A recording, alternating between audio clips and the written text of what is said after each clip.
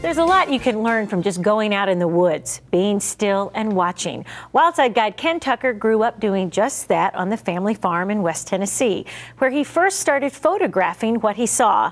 Over the years, Ken came to understand that looking through the camera lens brought a different perspective and focus to the world around him. Today, he takes us to a simple stream where the ebb and flow of life takes on new meaning when you're looking through the glass. To the casual observer, it's just an ordinary stream. But this is living water.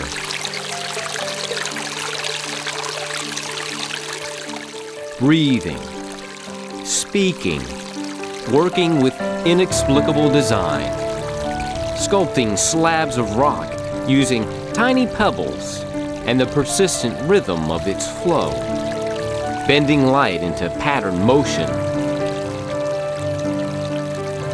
painting works of art with casual indifference.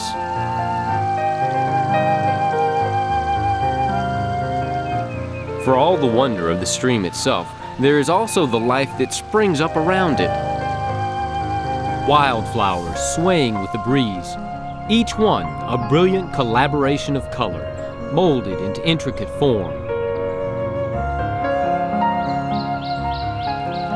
Tiny beetle sharing a waterfront view with a fellow winged wanderer. A crawling caterpillar busily working his way to a place only he can find. Dragonflies dancing to the beat of birth.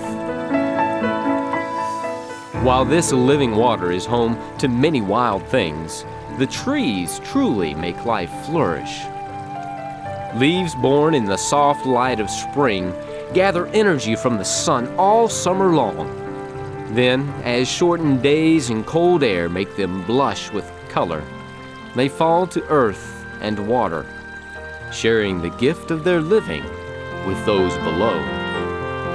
There are a whole bunch of insects in here that are timing their life cycle so that they are ready in their feeding stage as larvae when those leaves fall in the stream. Some of them take the leaves right away and actually crunch them up and digest some of it. We call them shredders, crayfishes, big, big stoneflies, things like that. Food is what drives much of the activity here. The gift of life comes wrapped in the trappings of death. There are a myriad of tiny dramas unfolding every day. Take, for example, this fuzzy little worm, helplessly pulled downstream a water strider, spying it from a distance, moves closer, then attacks.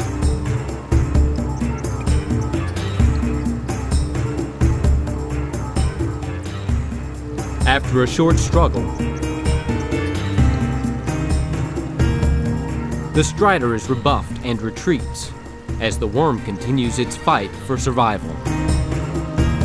Eventually, it makes its way to a rocky outcrop.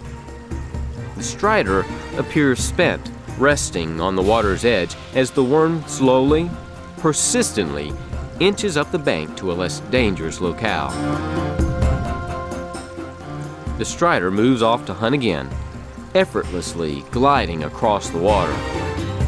I think the neat thing about these water striders is that they're walking on water, and that has to do with the surface tension, how they sit on top of the water, and they just look like they're skating. And uh, they go every direction. If you move towards them, they'll move away, and uh, they're hunting for food. Sometimes the hunt happens above the water. These aerial acrobats skillfully work high above the stream, constructing strong nets made of slender, silky strands in the hope of catching some flying insect. A praying mantis climbs high atop a flowery perch, then surveys the creek below hunt is on. Patience is the key for both the spiders and the praying mantis.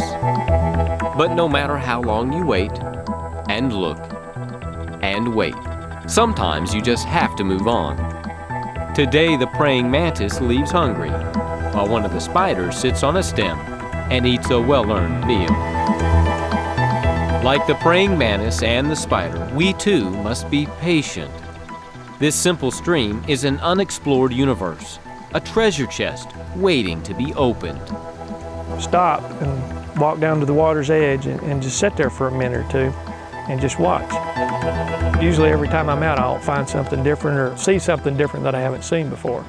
So it's just a matter of taking time to, to get out and sort of just relax, sit back, don't be in a hurry, and you'll be amazed at what you'll see. What we'll see is a part of ourselves looking back at us. Because no matter how small or insignificant a wild creature might seem, we're all interconnected.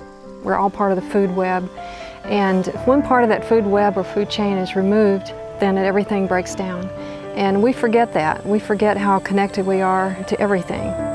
It's a connection that must be nurtured and shared, passed down from generation to generation, so that this stream, small though it is, will always be filled with life. I'm Ken Tucker on Tennessee's Wild Side. Well, that just makes you want to go sit in the woods and take another look around you. Mother Nature's a great teacher, huh? Mm-hmm.